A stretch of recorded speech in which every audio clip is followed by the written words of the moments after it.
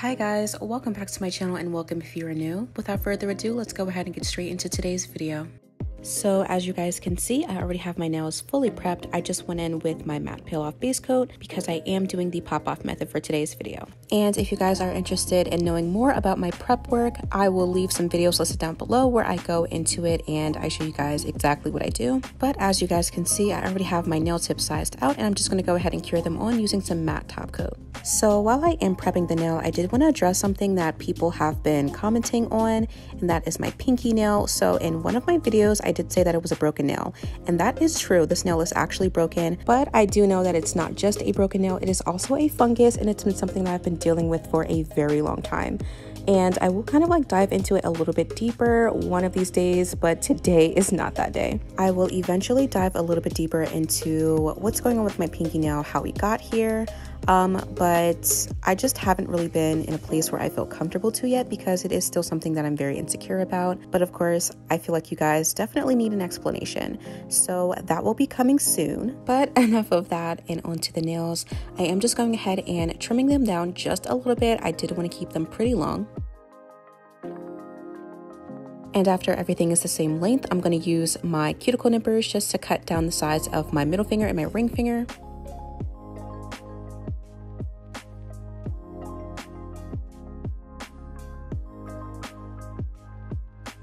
And because the sides of that tip is poking out on the pinky, I am going to cut that down as well. And lastly, before I do anything else, I'm just going to shape up these tips using my 8080 grit nail file.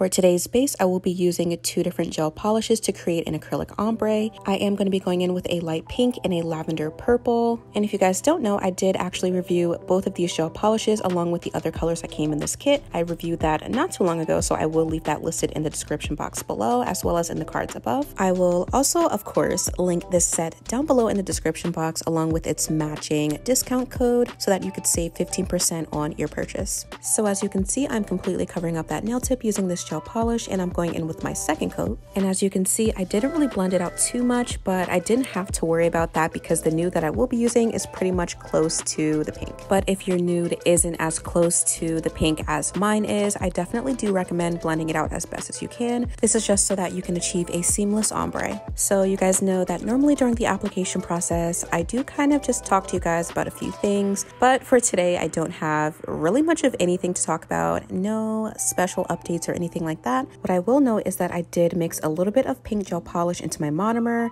And so once I start to encapsulate the nail, my clear may look a little bit pink. So that is the reason why. But besides that, I will just go ahead and let you guys enjoy the rest of this application and we will be back for the shaping and filing.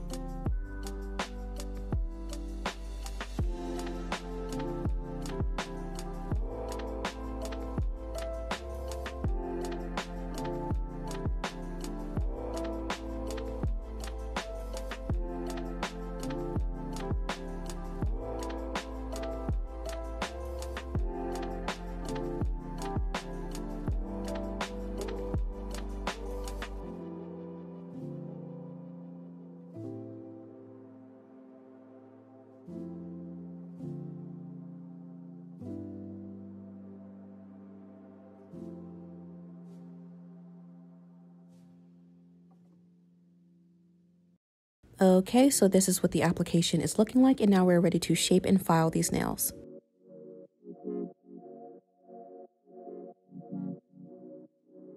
To start off, I'm going to be taking my 8080 grit nail file just to file the undersides and side walls of the nail. And if you happen to be wondering why I file my nails in this specific way or why I do this first rather than other parts, um, there isn't necessarily a specific reason as to why I do this first. Um, it's just something that I'm used to. I've been doing this for quite some time now. So I definitely just recommend filing your nails in whatever order you feel comfortable with, whether that's sealing the cuticle first, going over the entire surface, or filing the sides first as I do.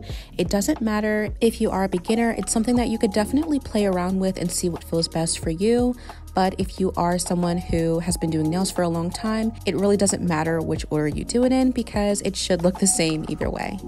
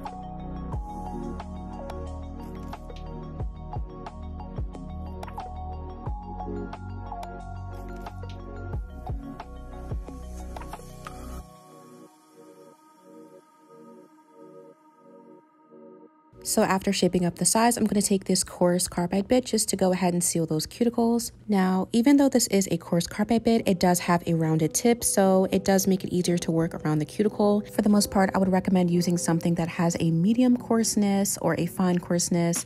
So that could be a medium carbide bit or ceramic bit. You could go in with a medium sanding band or even a cuticle bit. It really doesn't matter as long as the method is working best for you. What I will say is that for this step in the process, you want to to make sure that you're moving across the surface constantly and not leaving that drill bit in one spot as to not cause any heat spikes.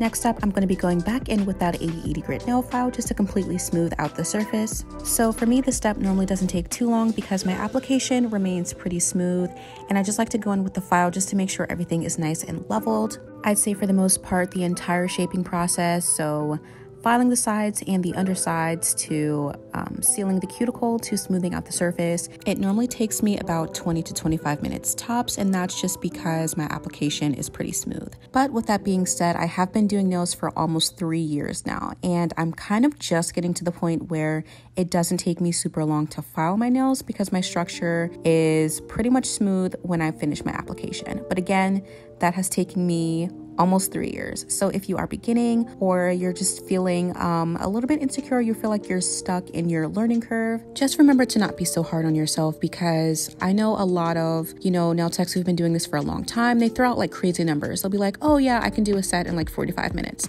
Me personally, I can't do that. I haven't been doing nails for that long to really boost up my speed. But of course, I know that eventually I will get there with practice and with time. So of course, don't be too hard on yourself like my journey is going to be my journey and your journey is going to be yours. So take it day by day. Remember to practice and to keep your head up and to remain confident that in due time you're going to be exactly where you want to be because I promise you when you get there and you're like, wow, my nails look amazing, you're not even going to notice how much time has actually gone by and how much you've actually improved. But enough of me being a motivational speaker. Um, I'm just going to go ahead and file the tips at an angle to create a nice curved shape. I'm not exactly doing the moon crescent shape, but I do want them to look a little bit more C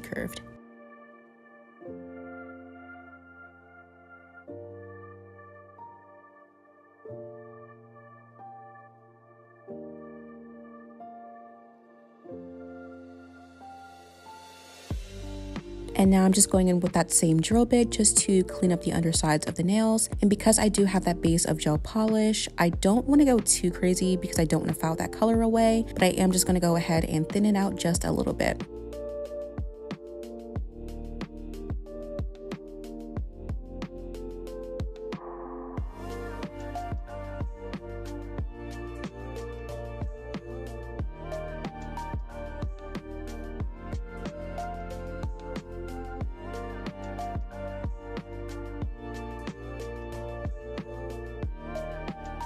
Lastly, before we get into the nail art, I'm just gonna go ahead and use my mini buffer just to smooth out the surface. And I'm actually making sure to get it especially smooth for today's nail art because I don't want any issues with the gel polish bleeding into the scratches of the nails.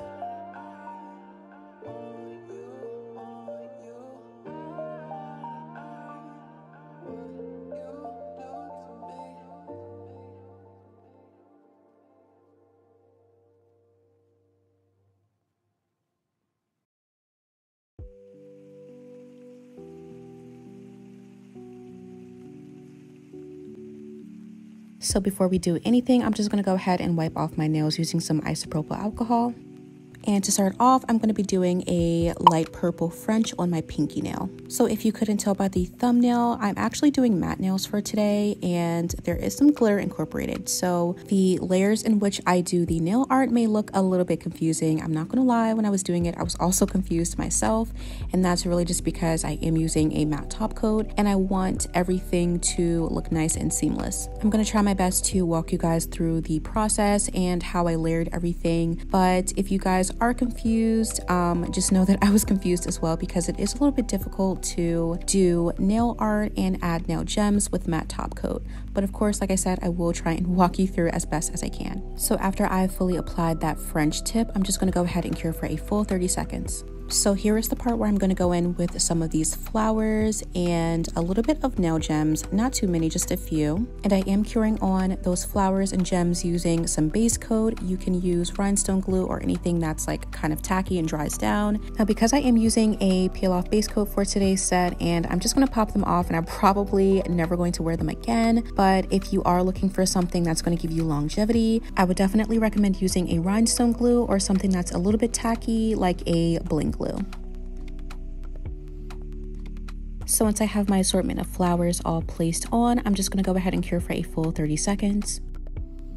So now I'm just gonna go ahead and add my single layer of matte top coat and I'm making sure to avoid the flowers and the gems as best as I can because I want it to remain nice and shiny. And once it's all applied, I'm gonna cure for a full 60 seconds. Okay, so now I'm finally doing that glitter French tip. I'm going in with the same lavender purple that I used to create the first layer of the French tip. I'm just really making sure to outline everything that I did in the first layer, as well as gently go around those flowers. Now, if you are using a gel polish that is pretty opaque and you don't have to use two coats, this could honestly be your first layer. Like you don't have to do two as I did, but I wanted to make sure that everything was nice and opaque because I didn't want to be able to see through the glitter. So once I have that second layer of the French tip applied, I'm just going to make sure to cover every nook and cranny with this glitter before I cure for a full 30 seconds.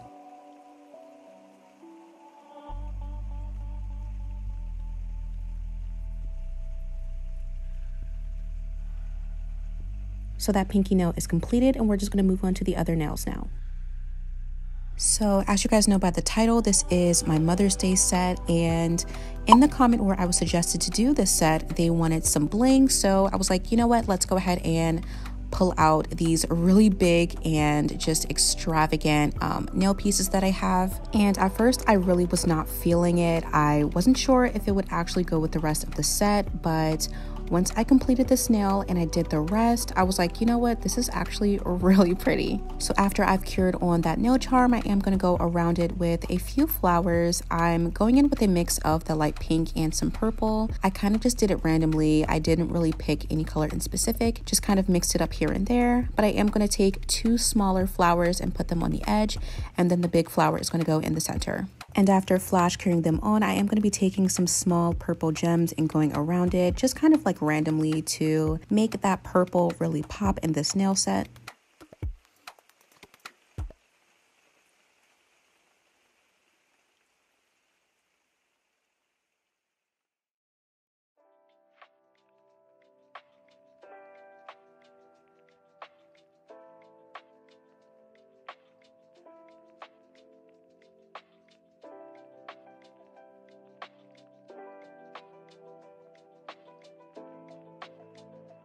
I did also go in with some gold beads just to fill in any gaps and make the gold pop even more. And just so that you guys know what to expect when you're using these gold beads, um, definitely make sure that you're moving pretty quickly. You don't want to take too long trying to place them because they will start sliding and it just gets really agitating after a while. But after finally getting those nail charms in place, I am going in with my single layer of matte top coat.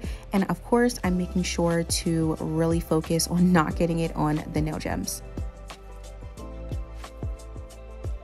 So onto the middle finger, we are finally more than halfway done. For this nail, I'm going to be doing a glitter French outline and similarly to what I did on my pinky finger, I'm going to be going in with my first layer of that outline before I go in with my matte top coat. And when it comes to doing a French outline, there really isn't much advice that I can give you except to use a very long brush and to make sure that you're not flooding the brush in too much gel polish because otherwise it'll be too thick and you might risk messing up everything. But for the most part, a French outline is definitely something that you just have to practice. Even I still hate doing it to this day. I think it looks really pretty, but I'm just really not good at it. Like this was probably my third try. I didn't include it because it would just take too much time. But yeah, after my third try, I finally decided that I liked it and I cured it for 30 seconds. So after I have that first layer of the French outline applied and cured, I'm gonna go in with these small butterfly charms. And to be honest, at this point, I wasn't exactly sure if I wanted to do it, but after I did it, I was like, yeah, this is definitely really cute. And I kind of feel like that normally happens when I do freestyles. I kind of just jump into it and I don't know fully what I want to do. Like I have a concept, but not every nail is as detailed and yeah, so this was kind of just like a tester, but surprisingly, I really liked it. So I did go ahead and cure these on using some base coat as I did with my pinky nail, and that seemed to work just fine. I just made sure to use a little bit more than I normally would. But as I mentioned before, I would definitely recommend using a rhinestone glue because it probably wouldn't move around as much and you won't have to worry about them slipping and sliding before you cure it.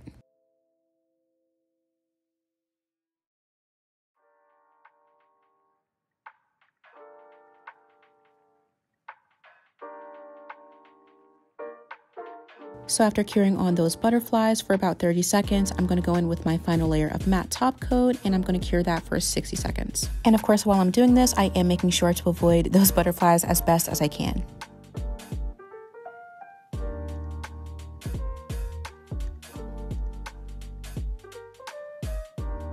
And lastly, I'm gonna go in with that last layer of the French outline.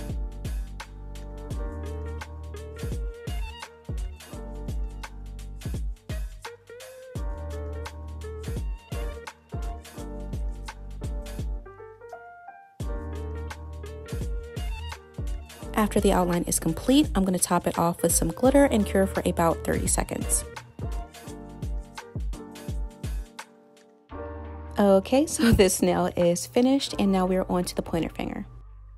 So in the center of this nail, I will be actually doing an acrylic flower. So I wanted to make sure that the flower had a center. And for that center, I'm going to be using this purple rhinestone and I'm going to put about four of those gold beads around it just to give it a little bit of um, some interest, I guess. And once I had everything nice and placed exactly where I wanted it, I just went ahead and cured it for 30 seconds.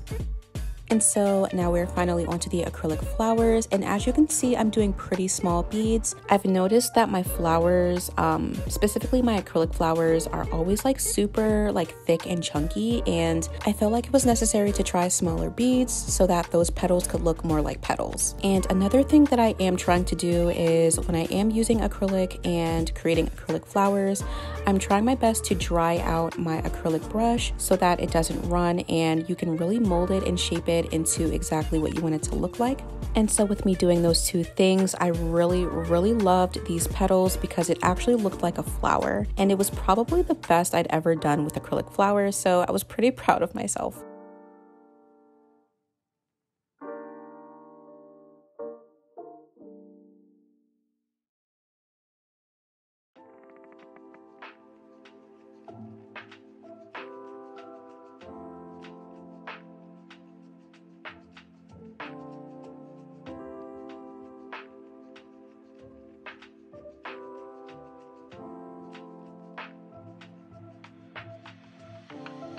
Also added about three flower petals on the top and bottom of my ring finger just to make it a little bit more interesting. And I don't know if it's just me, but like once I start doing acrylic flowers, I really don't want to stop because I'm having so much fun. So that's honestly the reason why I decided to add these and also because I thought it would just make the nail look even more extravagant than it already looks. To be honest, I wanted the set to be super complicated and just really extra because this is supposed to be for Mother's Day and I really like only do nails like this on my mom. So I was like, you know what? Let me do something that's inspired by her, something that I know that she would definitely rock. So something super extra and super just glamorous is what I'm trying to achieve here.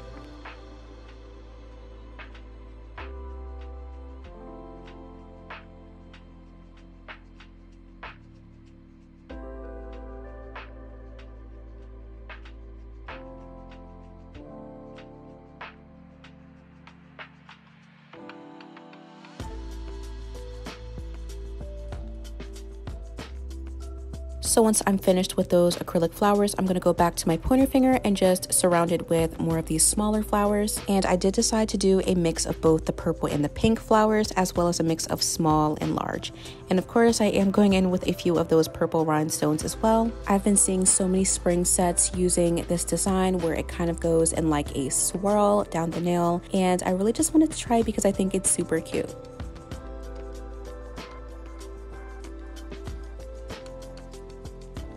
So like I mentioned not too long ago, I am going in with those purple rhinestones, but I'm also going in with those gold beads as well. And after I'm about halfway done with the nail, I did go ahead and flash cure it just for a little bit so that I can continue to do the top.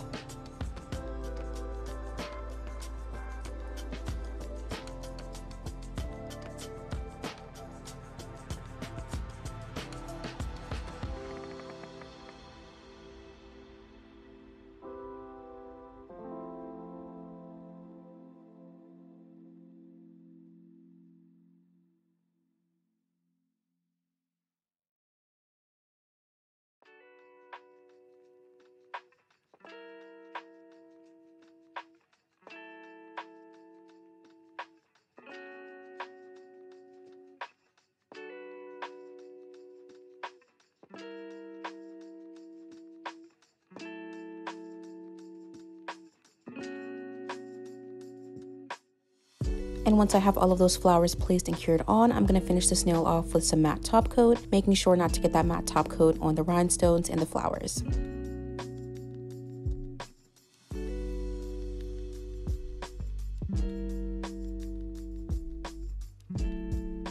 And lastly, we are finally onto the last nail. So for my thumbnail, I'm doing something very similar to what I did to my pinky.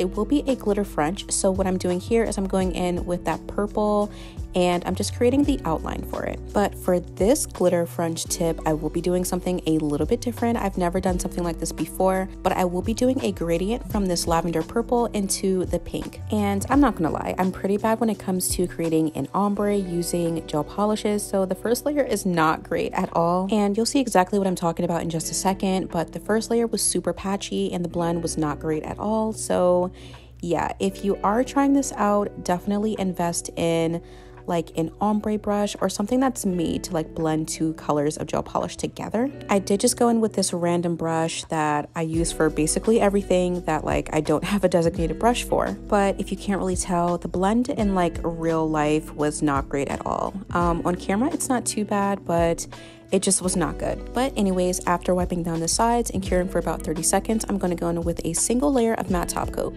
And after it's fully applied, I'm going to go ahead and wipe down the sides and cure for a full 60 seconds.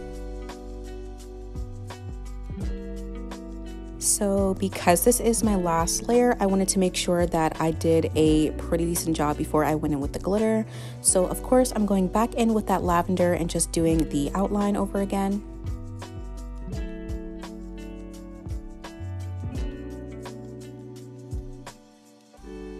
And now I'm going to go ahead and fill in the gaps only about halfway down the nail because I do want to leave some space for the pink.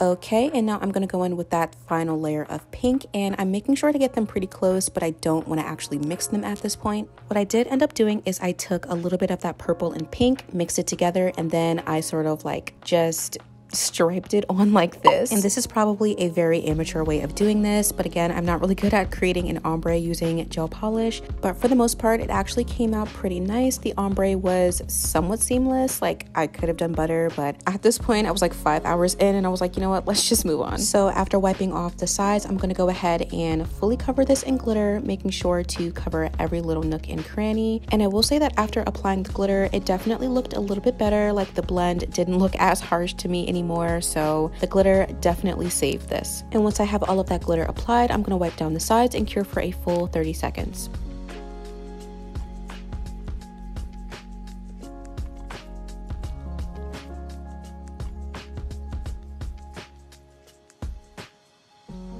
So this entire set is of course a freestyle, but this part in specific was definitely a little bit more impromptu. I didn't really plan on having too much going on with the nail, but I did want it to blend in a little bit more with the rest of the set.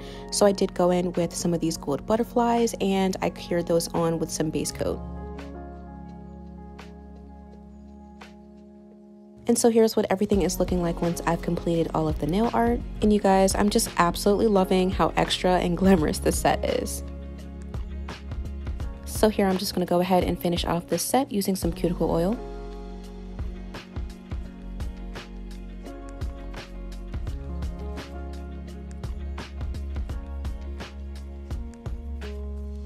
And that completes today's set. I really hope you guys enjoyed this one. This is probably the most extra set that I've done in a very long time, but of course, I really love it. Like I said, I was requested to do a Mother's Day set, so if you are watching this, I hope that this is up to your standards. I wanted to do something that was super extra and something that, you know, reminded me of something that my mom would do. When it comes to the flowers in the set, I definitely think that it is Mother's Day appropriate, but of course, I do also think that it is appropriate for spring spring as well as the summer. But of course, I would love to hear what you guys think of this set. Of course, let me know if you would wear it for the spring, for the summer, for Mother's Day, anything like that.